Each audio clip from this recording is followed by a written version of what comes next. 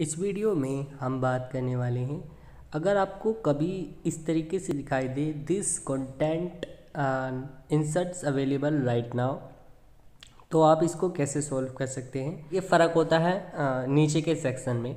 नीचे यहाँ पर अगर आपका टेक्निकल इशू हो ठीक है या फिर अलग तरीके से हो तो लाइक उसमें इशू आ सकता है। लेकिन इसमें लिख रखा है when this happens it's usually because the owner only, share it only small group of people. Change who can see it is been deleted.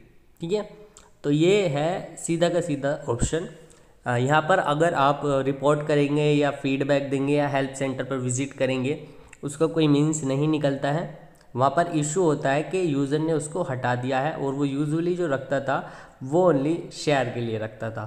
ठीक है? तो उसको हटा दिया गया है। तो ये वाला इशू इसका आता है। अब मेनली आपके नीचे टेक्निकल इशू आए या अलग तरीके से आए तो उसके लिए प्रोसेस किया जा सकता है बट यहाँ पर कोई प्रोसेस नहीं किया जा सकता। ये जो प्रॉब्लम है, ये आपके यहाँ पर ऐसी ही रहेगी। बस ये जो है यहाँ पर अगर उस बंदे से कह दिया जाता है तो वो उसको हटा सकता है।